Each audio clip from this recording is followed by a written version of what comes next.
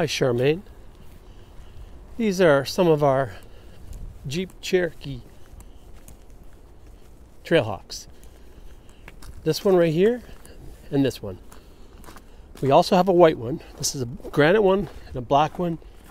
Just came in.